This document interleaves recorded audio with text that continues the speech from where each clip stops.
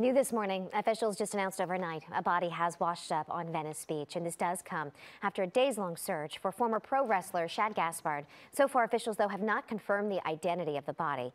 Gaspard and other swimmers were caught in the Rip Current on Sunday afternoon, and his 10-year-old son was among those who were rescued. He is okay. We're going to bring you more information on this as soon as we get it.